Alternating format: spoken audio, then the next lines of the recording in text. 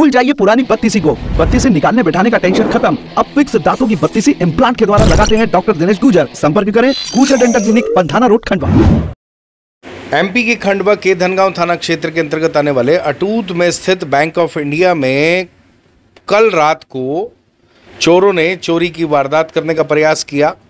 आपको बता दें कि दो सीसीटीवी उन्होंने तोड़े। एटीएम को काटने का प्रयास किया। बैंक का एक ताला भी तोड़ने में कामयाब रहे। जब वो एटीएम को काट रहे थे, तब उसके सेंसर ने मुंबई हेड ऑफ़िस में इस बात को लेकर अलर्ट कर दिया। तत्काल मुंबई हेड ऑफ़िस से खंडवा पुलिस कंट्रोल रूम और खंडवा पुलिस कंट्रोल रूम से धनगांव थाना प्रभारी विजय वर्मा को इस चीज़ को लेकर सूचित किया गया। तत्काल धनगांव थाना प्रभारी विजय वर्मा ने डायल हंड्रेड की टीम और उस बैंक के पास रहने वाले एक व्यक्ति को सक्रिय किया और आपको बता दें कि कई तरफ़ से टीम बनाकर चोरों को पकड़ने की कोशिश की, लेकिन चोर कहीं ना कहीं भागने में कामयाब हो गए। डायल हंड्रेड की टीम मौके पर पहुँची। मौके पर जाकर मुआयना किया गया। चोरों ने सबसे पहले आपको बता दें कि लाइट भी काटी। जो बैंक की लाइट थी उसे काट दिया गया और उसके बाद सीसीटीवी तोड़ दिए गए। फिर बैंक को कटर से काटने का प्रयास किया और इसके साथ साथ उन्होंने बैंक के एक ताले को भी तोड़ने में सफलता हासिल की। लेकिन दोनों जगह विफल हो गए।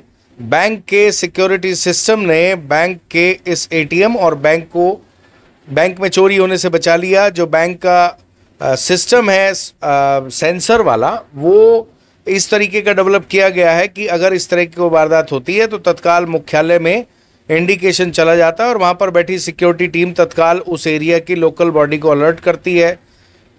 पुलिस और बैंक की सतर्कता से चोरी टल गई, लेकिन आपको बता दें कि थाना प्रभारी धनगांव विजय वर्मा ने पूरा प्रयास किया कि चोरों को रंगे हाथों पकड़ लिया जाए, लेकिन चोर साइड से पीछे खेतों खेत भागने में कामयाब हो गए। जब तक पुलिस पहुँचती, तब तक वो कामयाब हो गए।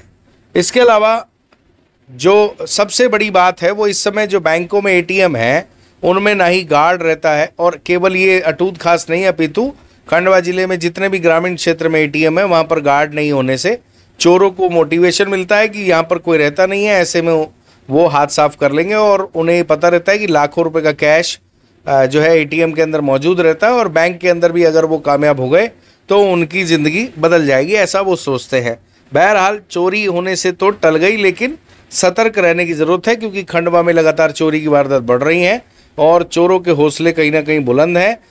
पुलिस को भी चाहिए कि वो तत्काल प्रभाव से ऐसे चोरों को पकड़कर जेल की सलाखों के पीछे भेजे, ताकि आने वाले समय में ऐसी वारदात ना हो पाए।